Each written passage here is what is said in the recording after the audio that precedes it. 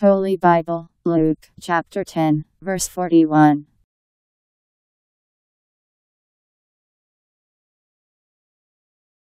But the Lord, answering, said to her, Martha, Martha, you are full of care and troubled about such a number of things.